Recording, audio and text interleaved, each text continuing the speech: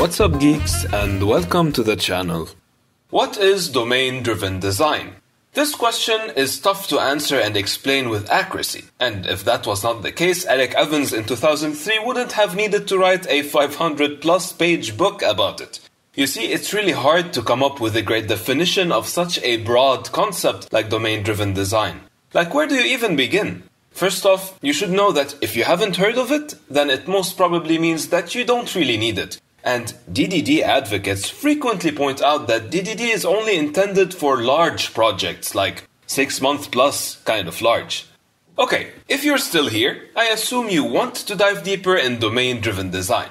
So let's start by breaking the words down. DDD means that our software design is driven by what we call a domain. Then, what's a domain exactly in this context? Say we are developing an application that allows us to order stuff. Then the subject of our application will be online shopping or online order processing. That subject, the subject area around which the application that is being developed is centered, is called the domain. You see, it is always good to know the context in which our application applies, as sometimes the same company or organization can be active in multiple domains like shopping, delivery, transport, repairs, all at the same time. Or sometimes the domain you have in mind might be very broad or non specific, like food. But what exactly in the food industry, you see? Well, to deal with large domain models and a large organization, you can divide the model you have in mind into different zones, which are called bounded context. An organization that deals with food, for example, can be split into a sales department and a delivery department, each operating within its own context and each having its own domain experts. The sales department, for example, could have a sales expert who's working closely with the developers in order to deliver the required functionalities. By working in a bounded or limited context, the work becomes easier and better organized. So, domain driven design is an approach to developing software for complex needs that deeply connects the implementation, the code, to the core business concepts, or the domain or context. I know this may sound complicated, but the goal of practicing DDD is to handle complex scenarios in a way that domain experts and developers alike can collaborate effectively with minimum misunderstanding and arguments. That is why we said that DDD mostly applies on large scale applications and organizations, because if you are developing a small application or writing a piece of code for yourself, you don't really need an expert's intervention. You can do these things on your own. Now, to achieve a successful collaboration between the experts and the developers, one of the most important tools is communication. And to handle communication between the involved parties, DDD utilizes ubiquitous language. Simply put, the ubiquitous language here is a language shared by the development team and the domain experts. They both understand it. It is the language used in the discussion, in the domain model, in the code of the application, in the classes, in the methods allowing for a shorter feedback loop. If the development team and the business team don't work together in enriching this language, the chance would increase they would develop their separate languages. This could introduce a language barrier between them, leading to inaccuracies by domain experts and misinterpretation of the technical developer language. For example, the word client can have very different meanings in different contexts. A client could be a human identity with a username and password used to authenticate within a web page. Or it could also be a system service which consumes an API. Similarly, the term booking could mean reserving a spot or a time for a particular event, but it could also refer to a player being punished by the referee for a foul play. These simple examples illustrate the importance of clearly defining the meaning of each word and term being used. This is especially important where many departments and business units are working side by side and collaborating on large scale projects.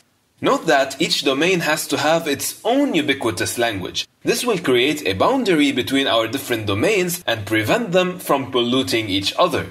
If you want to protect your domain from outer influences, you can create what we call an anti-corruption layer. This layer translates between two domain models. It can be uni or bidirectional and is often implemented by well-known patterns like the adapter, facade, or translator. Okay, now take this as a domain-driven design for our example and let's bring back our online shopping application. The business domain here is to process an order. So the customer first needs to go through our products, then choose what they want, confirm the order, choose the shipping type, and pay. The user interface is where the customer can find or browse all the products and can initiate their order. This layer shows information to the client and interprets their actions. And it is all our clients can see. It's the front end of our application.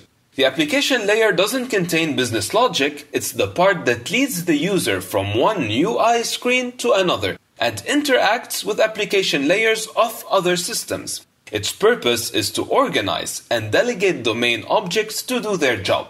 Moreover, it's the only layer accessible to other bounded contexts. Now, the domain layer is where the concepts of the business domain are, the classes, the methods, etc. This layer has all the information about the business cases and the business rules. Here's where our entities can be found. An entity is an object with a unique identity guaranteed via a unique key which remains even when their attributes change, just like a user, a product, or an order in this case. This part also contains services with defined operational behavior. The services are named according to the ubiquitous language. Customers should be able to use any given service instance at any time. Most importantly, the domain layer is in the center of the business application. This means that it should be separated from the rest of the layers. It shouldn't depend on other layers or their frameworks, only other layers may depend on it. And finally, the infrastructure layer supports the communication between other layers and can contain supporting libraries for the UI layer. Okay, I don't want to throw more information at you, as I know that what we went through so far can be already overwhelming, so I'll end this video with a few last words about DDD pros and cons. Let me know though in the comments below if you would like me to do a part 2 video of this and dive deeper in the world of domain-driven design. So, one of the main advantages of DDD is obviously a simpler communication. Thanks to the ubiquitous language, communication between developers and experts becomes much easier.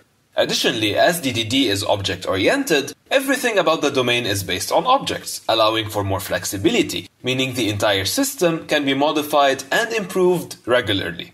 However, one of the main downsides of DDD is that deep domain knowledge is required. Even for the most experienced teams working in development, there has to be at least one domain specialist who understands the precise characteristics of the subject that's at the center of the application. Moreover, DDD might not work best for highly technical projects. Domain-driven design is perfect for applications that have complex business logic. However, it might not be the best solution for applications with minor domain involvement but high technical complexity. So, that's it for this video. I hope it was helpful. Thank you guys for watching, take care, and I will see you in the next one.